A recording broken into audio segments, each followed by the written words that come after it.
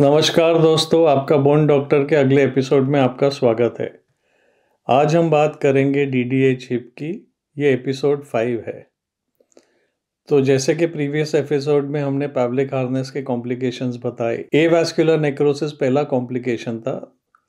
दूसरा कॉम्प्लिकेशन देख सकते हैं ट्रांजिएंट फिमोरल नर्व पैरालिसिस या पालसी ये हाइपरफ्लेक्शन से देखा जाता है। पैब्लिक डिज़ीज़ भी देखी जाती है।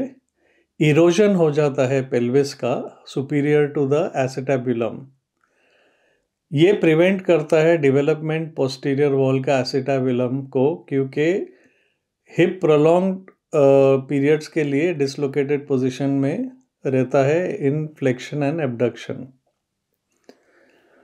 important होता है हार्नेस को डिसकंटिन्यू करना तीन से चार हफ़्ते में अगर हिप रिड्यूस नहीं होता तो। तो आउटकम्स कैसे होते हैं? ओवरऑल सक्सेस रेट 90 परसेंट होता है। ये डिपेंड करता है एज जिस पे ट्रीटमेंट इनिशिएट किया और टाइम इन द हार्नेस कितना टाइम हार्नेस में रहे बच्चा। अगर तो तीन से चार हफ़्ते तक हिप रिलोकेट नहीं होता है तो पैब्लिक हार्नेस अबैंडन कर देना चाहिए।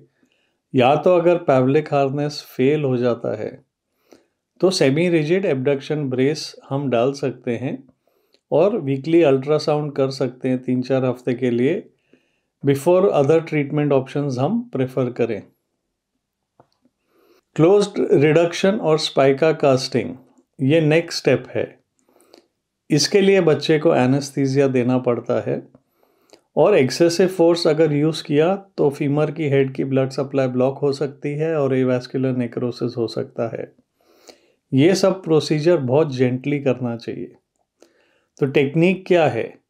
क्लोज रिडक्शन करते हैं ऑर्टोलानी मैनेवर यूज़ करते हैं, जैसे आप इस वीडियो में देख सकते हो।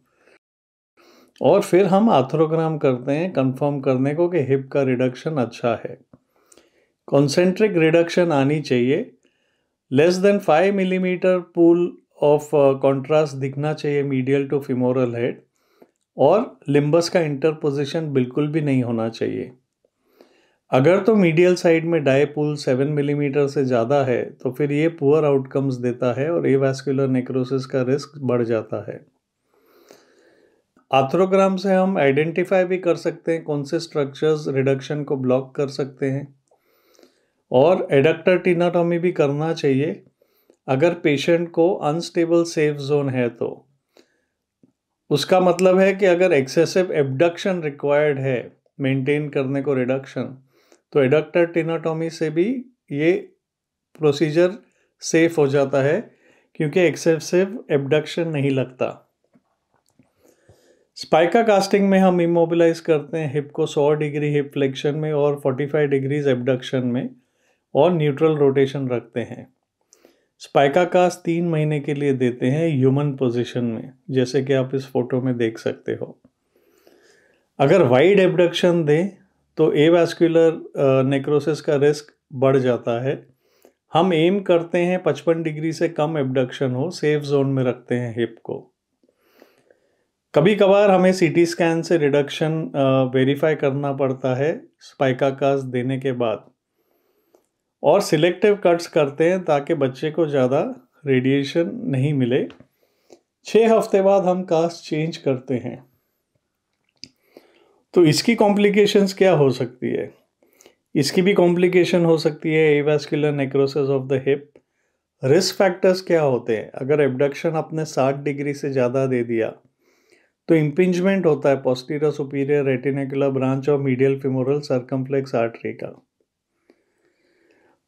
एबडक्शन भी हमें सेफ़ जोन पे रखना है। सेफ़ जोन पहले भी हमने बताया है।